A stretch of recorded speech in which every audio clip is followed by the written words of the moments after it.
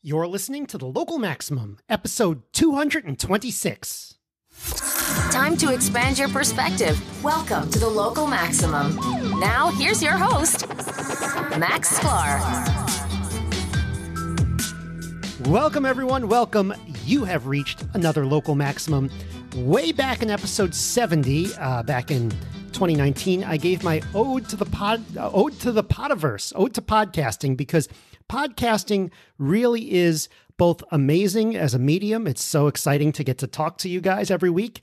And uh, it's really been one of the freest media spaces out there. Both a com, it's like a, it's a combination of having very little censorship, but also the the listener you get a lot of control over your content. You can listen to me.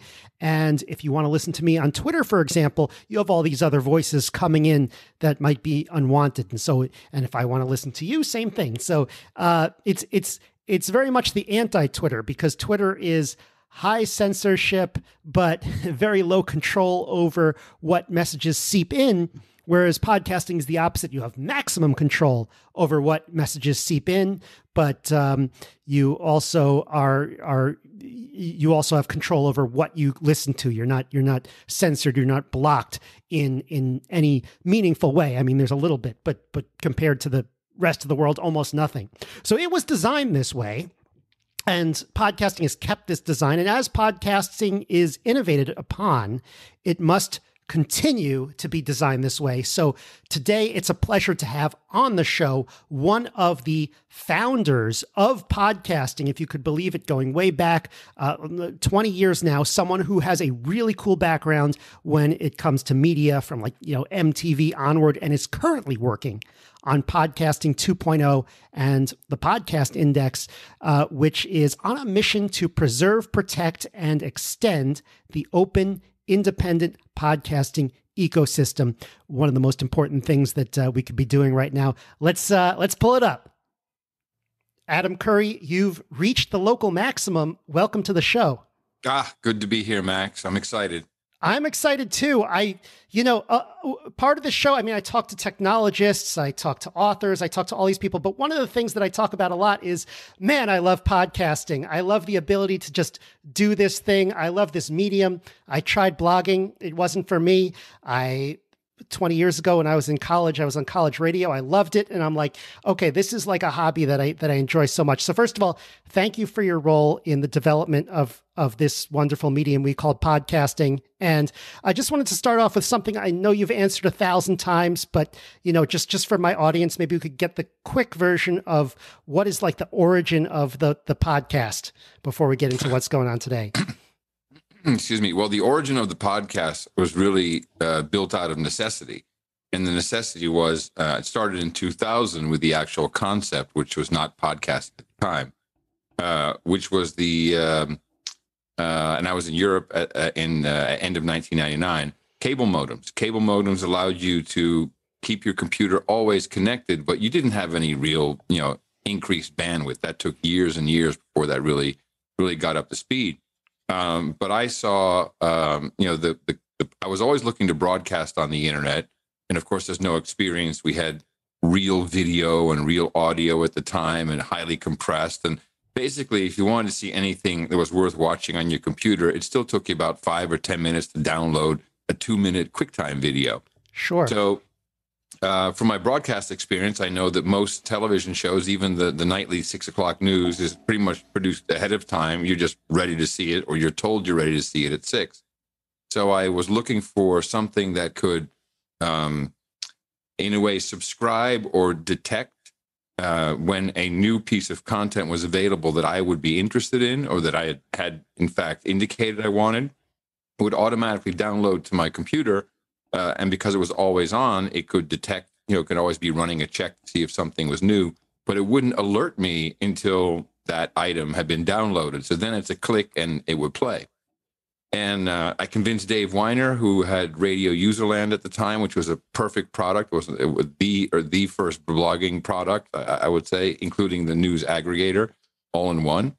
I convinced him to develop it out. He put it in the RSS 2.0 spec and several years later, um, I saw my first iPod, and the first thing that hit my mind was not digital Walkman or jukebox or anything like this. No, I thought radio receiver.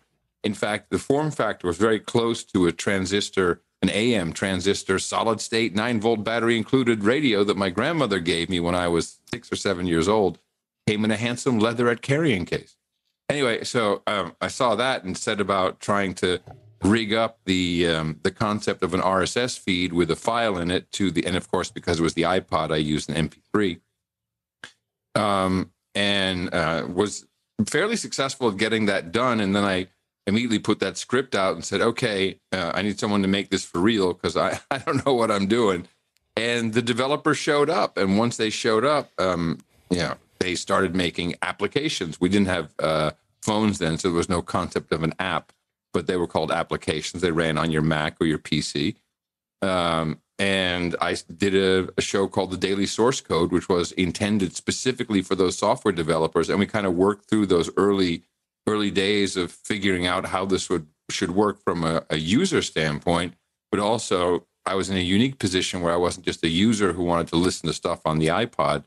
Um, I was also a, a creator, uh, and and eventually the name came in through Dannie Gregoire, and podcasting was born.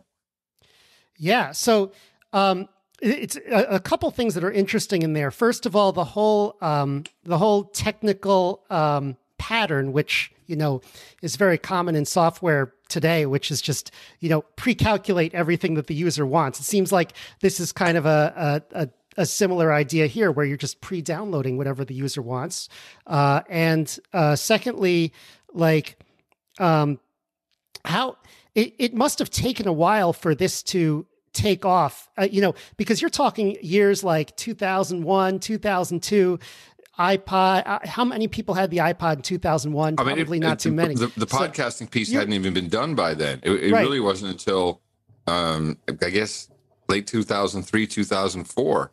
And yeah, uh, and you know, it was um, the concept worked, and a lot of these applications that were built also kind of made it work with other MP3 players at the time.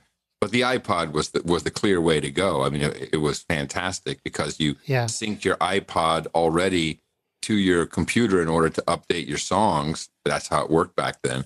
Right. Um, so uh, it, it, it, was so obvious that that was you know that was the system that would automatically update it, and otherwise you were dragging files over and doing all kinds of you know. But it, but it was so compelling, and I think um, it was a lot of the voices, the content came very, very quickly.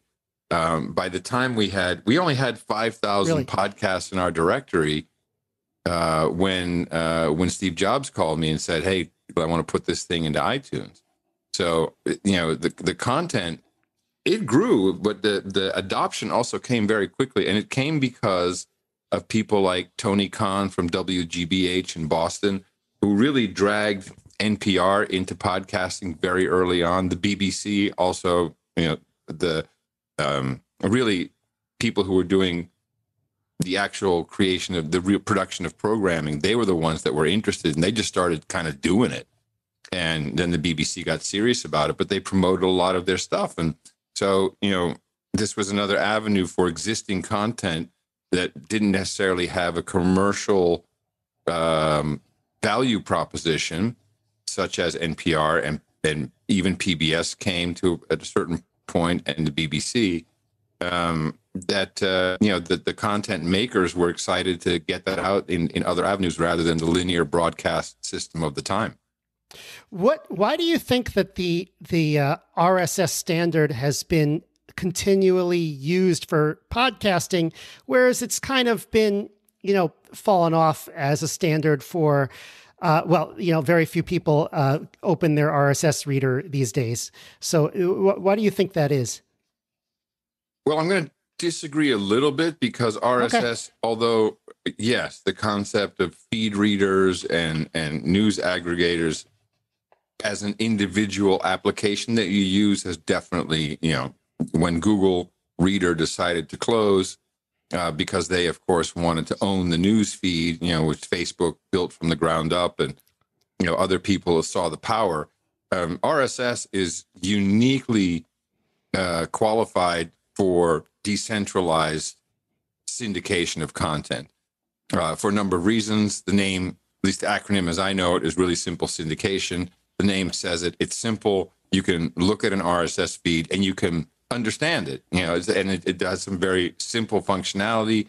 And you know, even for uh, early like myself i was able with applescript to to parse an rss feed i mean come on they, right. That, that's how simple it was and I, anyone who knows me knows what i'm not and it's not a software developer so you don't have to have some um, special knowledge in decoding you know no no and you, don't need, maybe you a little bit know, you don't need to yeah. know about javascript and you know it's kind of it's kind of human readable it looks like an outline that you may have seen in in uh, in a word processing program um, so under the hood, um, RSS feeds are being created and used for all kinds of things every single day.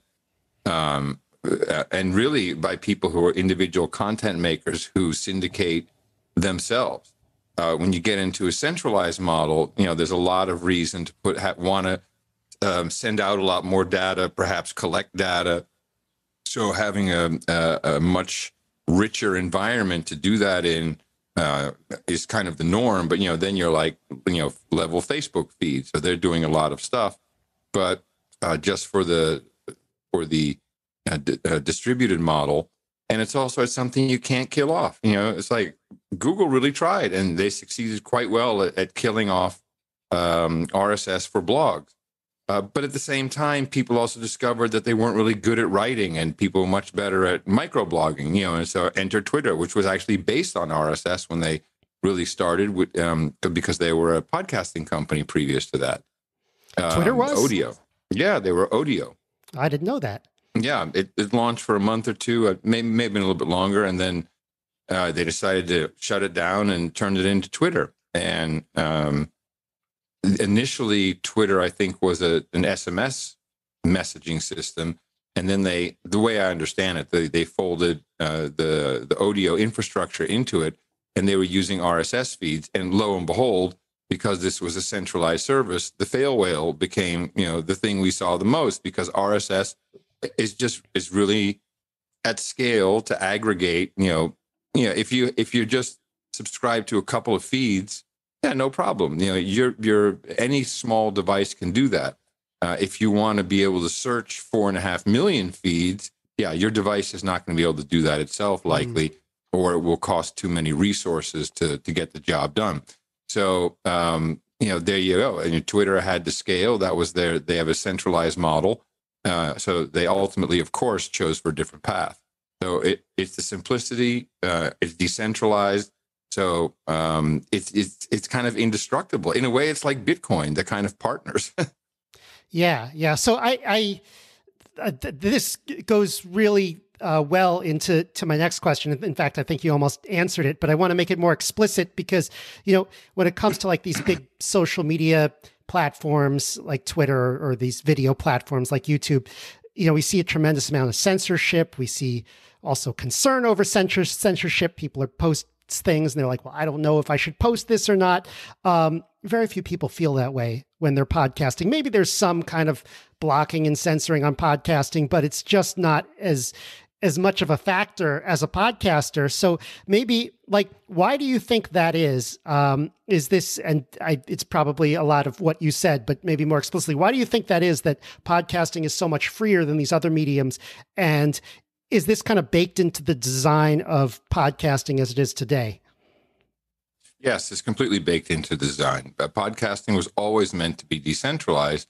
And to a large degree, it has remained decentralized in that anybody with a web server and a text editor and some kind of recording device can be a podcaster. All you need to do is put your RSS feed or file, which you've created in your text editor, on your server and uh, and make it, you know, record your MP3 file, and you're good to go.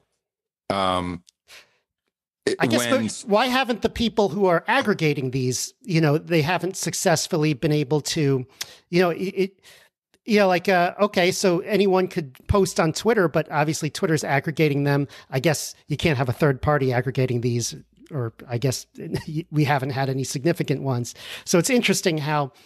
Uh, well, you, have yep. hit the you've hit the nail on the head. Um, so when uh, when Steve Jobs and we had a nice chat for like an hour, it was really quite interesting. Uh, yeah, he said, I want, I want to know what he thought. Yeah, he said, I want to, well, he said, I want to put podcasting into iTunes. And I was like, of course. And I said, let me give you the directory you have so far to get you started, which we had done in a distributed open open source manner. Uh, I, I don't know if it was avoidable, but I made an error there, certainly in my thinking, because coming as a broadcaster, I've never had to worry about radios. There's always radios, a million radios everywhere. Um, but now, um, I in fact kind of let Apple become the de facto radio because they were also the, the on ramp to podcasting. If you wanted to be in iTunes, you had to go, th- you still have to go through their approval process. Right. Um, that didn't mean that you couldn't manually subscribe to any podcast in the Apple podcast app, which you could. And to this day, as far as I know, you can.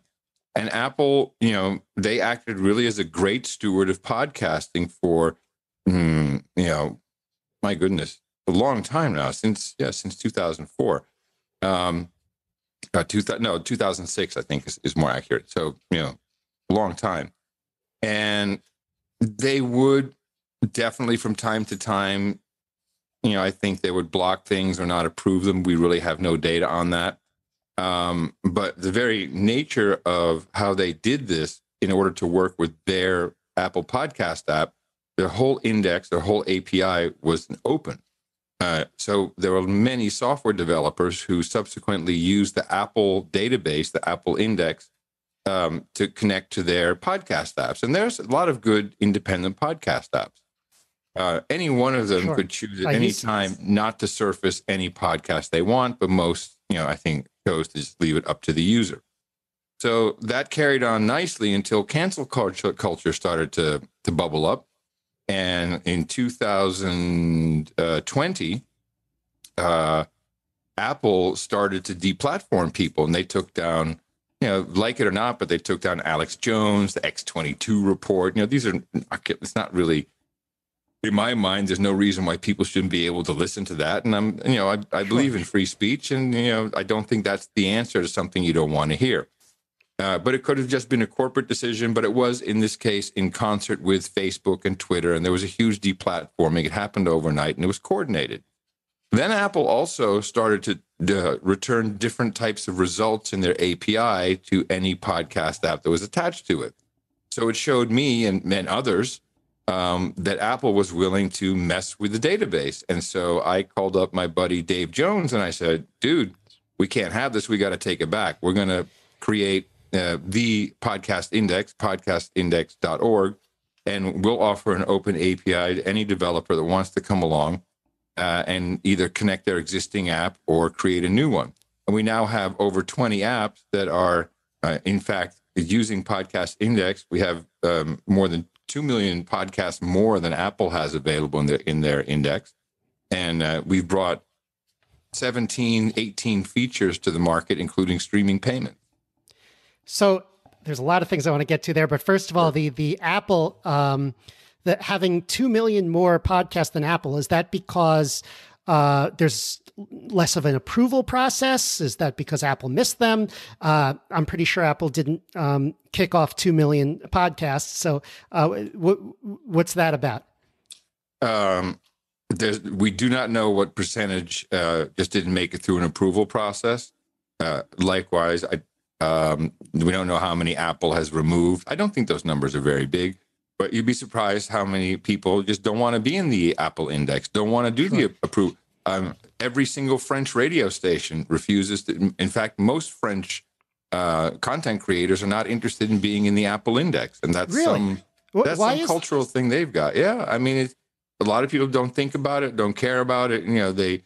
Um, it's hard to say, but of the, Yeah. I think it's 4.2 million. We we actually recently went through and we created some new rule sets as what what should not really be in the index. And you know, for me, something that was created five years ago is super relevant. It does. I mean, relevance doesn't even matter.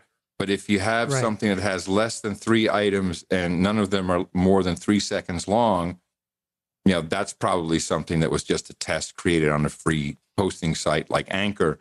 And so we weed those out. You'd be amazed. This is an open project. Uh, and we have a, a Mastodon server, podcastindex.social. We have hundreds of people many of whom are feed experts, and all they do all, all day is just find feeds, you know, parse them, get uh, dedupe them, um, create artificial intelligence with a lot of human intelligence to Right. figure out what feeds are valid. I mean, it, it's a it's a fantastic undertaking, which anybody is welcome to join. Well, there are yeah, there are podcast feeds that are just silence that are just they put Yeah, out that that hopefully we catch those and and take those out of the index. Yeah, yeah. And then there are a lot of there are I'm sure there are strange ones out of I'm sure there's just one of people screaming, you know, like uh, there well, was that one would be called okay Walking. if, Yeah, if it's more yeah. than three seconds. But um, we there have been a few instances of something that's blatantly illegal. Um, Okay. So you know, but we we pretty much follow constitutional guidelines. You know, we're we're in America, so but uh, you know we're open to any suggestions and. Uh, I would say the thing we get the most is people just saying, "Hey, could you take my feed down? It's no longer relevant, or I don't want it to be there." That's kind of the only only removals we really see. So um, this so this podcasting index this is um, is is an alternative to Apple or a well I mean there are other podcasting index besides Apple but it's it's supposed to be kind of this this new freer one. So so who's hosting this? Um, are, are is there any like system for hosting it that's a little more decentralized or is it just going to be you know we're going to host it but we're going to you know manage it better than than it's been done in the past? How's that uh, being handled?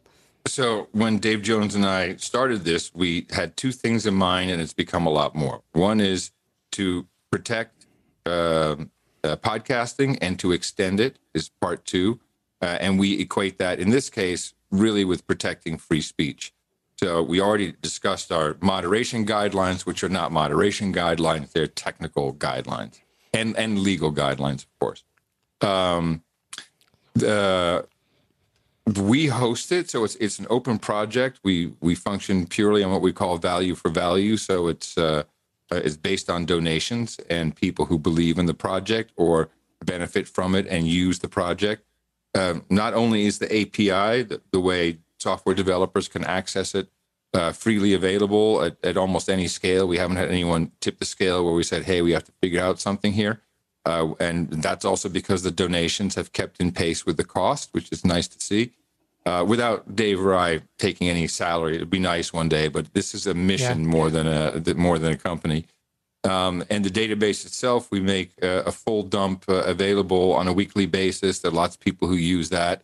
Uh, we do uh, remove uh, um, email addresses so it can't be used by scammers to then go and you know email the whole podcast universe um, and lots of researchers use use that for different things. And we also have people feeding information back into the index, which is really nice. So it's become a pretty good uh, open resource that anybody can access. Uh, we're just there to make sure that everything runs and it's smooth, and uh, and we pr- provide the best features. And and that is really what came out of this. As the second part was, you know, if you can't make any money if there's no way to receive value from the audience because you've been financially deplatformed, which is happening at an alarming rate, um, and seems to be, you know, financial control seems to be in the cards for us globally, the way I see financial markets and governments moving. Um, uh, so I'd been interested in uh, a holder of Bitcoin for a while, and I saw the Lightning Network, and when I saw that, in essence, you could broadcast money that's when my radio guy brain went into motion again. I'm like, oh, so why don't we have it like this? Um, I'm broadcasting my MP3 to you, and at the same time, you're broadcasting money back to me. Whatever you think, however you, much you think that is, and Yeah, so how you does can. can this be done now? How does that work? Yes, it, it's working now. Any podcast can do it. Uh, and you can start receiving uh, Satoshis, which is a fraction of a Bitcoin uh, in real time. Literally uh, within within 45 minutes, you'd be up and running. Um, you can go to value for number four value.io. Uh, but we also have apps like Fountain, um, and that's also listed in valueforvalue.io. Uh, the Fountain app which will help onboard the podcaster in the podcast app itself, which is pretty cool.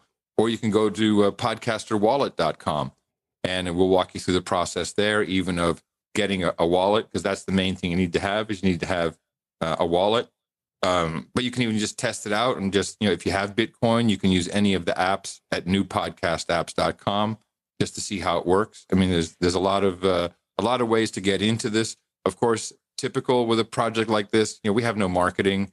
You know, we're doing Right, a crap so- job at that. well, I mean, I guess the question is, why would somebody want to broadcast? mo- I mean, I tried out. I tried broadcasting money to Well, here's, someone. Here's, sounds cool. here's how it like- works, Max. Here's how it Yeah. works. Um, and I've been doing this for 15 years with the No Agenda show. We discovered that if you want to do a, something that you want to get compensated uh, without advertising or you know commercial money of some sort that is making you you know making you do something. And the basic premise is advertising is censorship. If only you're not going to talk about a competing product or service that your advertiser is. Um, and so, you know, 14 years ago, literally, we decided to just ask the audience to send us whatever they thought our show was worth. And once we saw that it wasn't just $5 a month, some people sent us 50, some sent us 500, and then someone sent us 5,000. And then we figured out that we have no idea what people value something at. And that's the sin of Silicon Valley. You know, they determine how much a song is worth, 99 cents. No, you know, let me let me determine it. In a lot of cases, nothing. But in some, yeah, I'm willing to pay $99. So um, this was the big discovery. And this kind of this is where the Bitcoin culture comes in because this idea of value for value and true value um, carries through Bitcoin culture as well, uh, which made it really easy for Bitcoin related and you know techno- technology podcasts and also some economic podcasts and all podcasts of all kinds, but obviously Bitcoin starts with it. Um, to tell their audience, to teach their audience, to explain to them how they can provide value back to them. It's no different than saying, you know, smash the like button or you know, hit the PayPal donation link or go to my Patreon. You just have to ask, and and, and there's an education there. And then these very same listeners, they listen to other podcasts and they start reaching out to that host and saying, "Hey, I really want to basically send you money. Would you like that? You know, get set up. You can be set up and running in in half a, half an hour to forty five minutes. Um, and this, because of its very nature, it's it's censorship resistant money. So you can still continue to operate um, even with a small uh, audience size. If they really care about what you're doing, they will support you. I have the proof of that. Yeah, we did uh, a couple episodes on the Lightning Network, and um, this whole idea of like broadcasting money, as you put it, is really interesting. It's not broadcasting that anyone can can listen to it and that anyone can grab the money, but it's almost it's coming, it's it's streaming upwards. I want to like think about that more because I just, feel like it's just bits, man. It's just ones Yeah. and zeros. I feel like there's there's got to be a way to like, and this is just off the top of my head. I feel like there's there's got to be something more interesting there than just yes, I could voluntarily decide to broadcast money to the uh, to the podcaster, but like there's got to be something interesting there in terms of, um, well, I mean. The, you know, are, could you possibly make a, a streamed podcast? You know, uh, uh, only for people who are broadcasting, or or is that possible? Or I'm not quite sure what you mean. yeah, well, like in other words, I have to stream you satoshis in order to get your content. Um, Oh no, no, maybe that's no, not see, what you have in no, mind. But, No, this is the beauty of. See, that's the old way of thinking is pay to play. okay, This is this is play to pay. So okay, you're playing and then you're paying. That's how it works, and you determine what you're paying. We do. We've made it fun with something called the Boost, and subsequently the Boostagram. So this is very analogous to Super Chat and YouTube, where you can say, "Oh crap, I want to send someone a thousand sats, or ten thousand sats, or a hundred thousand sats," and you can determine that yourself. You hit the Boost button, confetti shows up on your screen, and the podcaster gets a notification. They just got that, and they know that you were listening at at certain timestamp in the episode. The Boostagram lets you add a message to that, and it comes through in the same fashion. Now you have the feedback loop where the podcaster can say, "Oh, I got a Boostagram here from so and so, and here's what they said in their message." So how can I um, so I, I can make it, somebody could send, hey, that was a really good point you made. I just gave Yeah. you a boost, and so I can see that uh, in real time. That sounds pretty Yeah. cool. How can I get the local maximum? Uh, how do I know if the local maximum is on the podcasting index? Is it likely there already, or um, I'm pretty sure it's on the index. Uh, I don't know. Do you have a video RSS feed as well? uh, no, no, it's just audio. Okay. Um, so if I go to podcastindex.org and I type in local maximum, and why, yes, it's right there. Very so cool. all you have to do is literally click on the lightning bolt uh, on your page there on podcastindex.org, and it'll take you right to podcasterwallet.com. It'll pre fill the information. You verify your feed, you choose a wallet, you're good to go. What can podcasters do to support your efforts here? Well, um, so we we um, I think one of the coolest things we developed uh, as this you know when you start to get into programmable money is the concept of the split. So you can determine as Max, you can say, you know what, I want um, 10% of of every satoshi that comes in or every payment that comes in i want it to go to um, my, my investor because he helped me buy some gear or maybe you have a co-host or maybe a guest you know i give them 20% of that particular episode. Similarly and this is something we architected into the system if we don't let the entire ecosystem benefit i.e mainly the d- software developers who really have had no way they're not they're not in the money flow of podcasting. They're not getting any joe rogan money you know they're not getting Yeah. excuse me a piece of any ads that that run through their app so they're, they're relegated to subscription models which can be okay like i think uh, marco at overcast does has a nice life and he's built a nice nice business for himself um most people develop this in their spare time because they just want to have something cool um and uh uh, so we allowed for the splits to be predetermined, although completely transparent. And we, as podcastindex.org, always say, please put in 1% for the index to keep our side of the infrastructure running. Some apps will, will say, mm, I want to take 4%. They may put the 4% fee on top of that split, but that's a separate issue.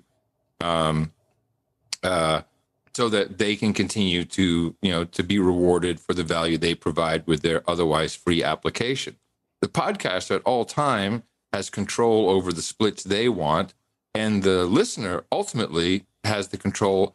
I mean every app has the list of everyone and their percentages what they receive. Uh, you can send it individually. You can decide to send it to all. You can you know so most people just send it to everybody and they're very happy. The great thing is the joy has been separated from the monetary value. It's gotten to the point where people are, I mean, people are literally saying, this is the most fun I've ever had parting with my money. And they love doing special numbers, you know, certain number sequences that are meaningful or that make the, the, the host guess what it is. It's an identifier. It's like a tag, like a nickname. So all these, these gamified elements just create or come to fruition by themselves without any real thought. It just happens. Does do any of these efforts include like building uh, recommender systems for uh, po- uh, podcasting? Um, like, do you think there should be recommended men- recommender systems for podcasting? Like, hey, given you're listening to this, you should listen to that. And are the current, you know, the the current players are they kind of tipping the scales in any way? Do you think? Well, this is uh, so along with by implementing the value for value payments, streaming payments, we automatically created something that's known as a namespace. And what that is, is it can extend something like RSS so you can add more features. And that's where people showed up after years of waiting for Apple to, it's kind of chicken and the egg, right? If, if you want to have a new feature, then you have to create that feature in your feed. And of course, the, the app also has to understand it and show that feature. And Right. Apple, Apple had no, why would they? They just, they just had their box. They weren't interested in any further development. They were selling. uh, Sometimes they add their own, right? Sometimes they add their own features. They added, they yeah, they they did like the single click subscription. They definitely added some of their own stuff in there, which is fine. Um, they and they also did that through a namespace, which is the the iTunes namespace. So the podcast namespace Uh, specifically, we have things like transcripts, and we have you know which is uh, for closed captions or subtitling. We have chapters with links, which can be we're being used in in many different ways. Location tags. We have the whole taxonomy project, so you can identify which persons, which is great for search engines. Uh, it, it just goes on and on and on. And one of them is indeed promos. We have trailers, promos, and there is a recommendation tag. And so these are slowly being implemented and and experimented with. As long as someone is using it, we'll we'll put that tag into the namespace. Um, what seems to be working really well is having the podcaster themselves use the recommendation tag and say, here's a couple other shows or episodes that you might want to listen to. That seems to be a more valuable recommendation than some AI. What I personally like, and I do this with my own shows with chapters, is you can, because it's external to the feed, you can have a third party or third party app create this part of the content for you. So I like crowdsourcing, uh, or as I say, using our producers. And there's one gentleman whose name is Dreb, Dreb Scott, and he uses a tool called Hypercatcher, which is an app where you can set markers for chapters. And then there's a back end to it. You go in, you add, you know, your links or your or your images, and just save that file, and boom, it it works in all the apps automatically. So I could also outsource my recommendations to a third party, which could, of course, also be some AI engine that on my behalf recommends things that I'm interested in and I think my audience would be interested in. Now, bringing these things to market um, um, is easy. Uh, uh, uh, you know, the concept and having one implementation, but having other people use it kind of goes by user demand. So we want people to try the new apps out. Um, and and you know there's always an easy way to, to feed back to the developer or jump into the conversation at podcastindex.social and uh, and just I mean we we welcome everybody software developers uh, content creators hosting companies doesn't matter everyone's voice is equal yeah, I feel like if, if I were to add, you know, a, a, it would almost be like an associated podcast section.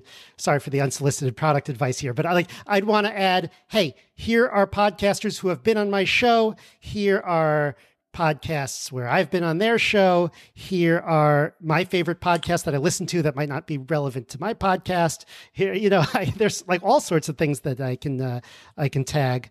Um, but yeah, so all of this requires, you know, if I'm hosting a podcast, all of this requires that I alter my RSS feed, right? So if I have a host that doesn't, you know, um, you know that that that, that doesn't allow for uh, uh, this kind of like you know extensibility of my RSS feed, like what do I do? Like what what hosts should I should I get in order to do this? Good question.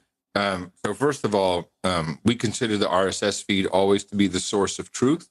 Uh, but in the case of the value for value streaming payments, um, we actually deliver the uh, the payment information uh, that you uh, that you want that when you onboard into podcasting 2.0 the index actually houses that payment information we have nothing to do with the payments we're not an intermediary but when you use a podcasting 2.0 app it will recognize uh, the payment information because that, that data is coming from podcastindex.org.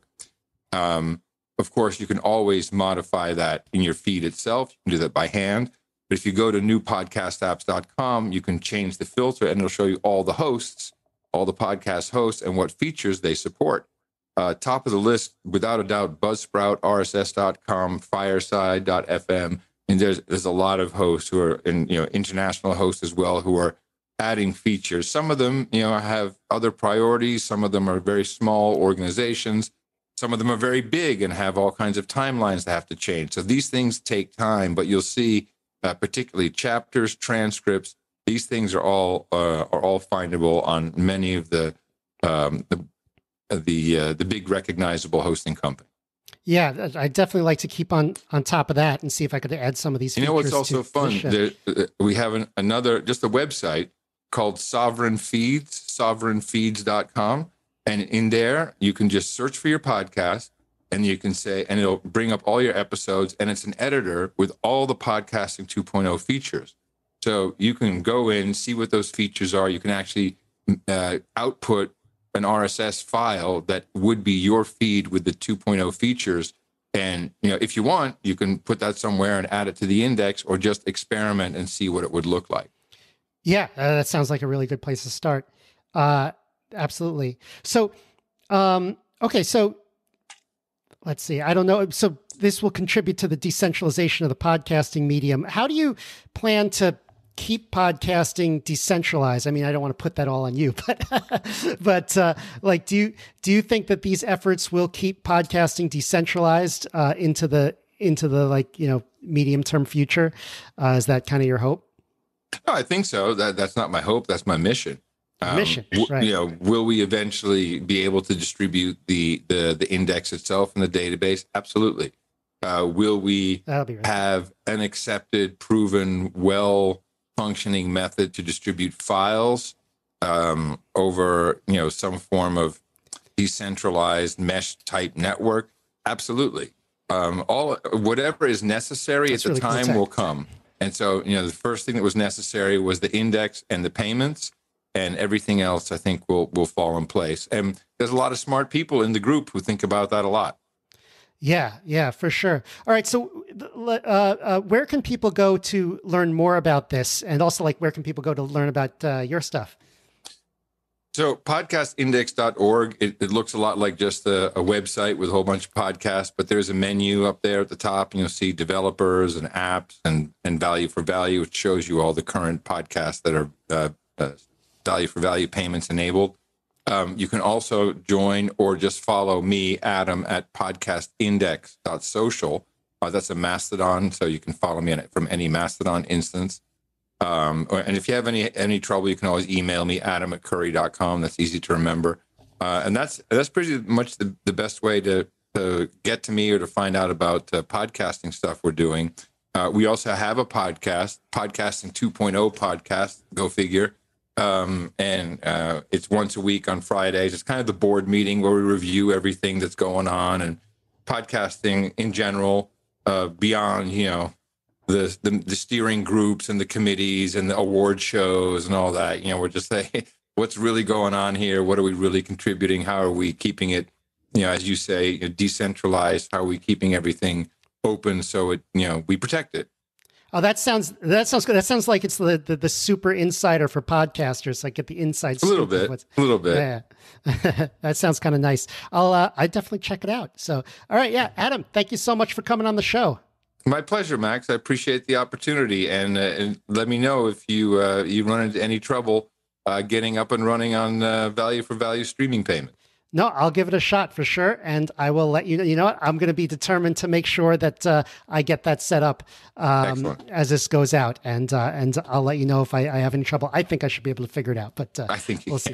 I've already, I've already got the Lightning Network set up, so I think I could do it. You've, you've uh, got you, you got a node. You're, I mean, you're. Yeah, no, you, I don't have a node. I yeah. You have I, a wallet or something. I have a wallet. Yeah. You'll be up and running pretty quick. All right, all right. Sounds good. Thanks a lot. My pleasure, Max.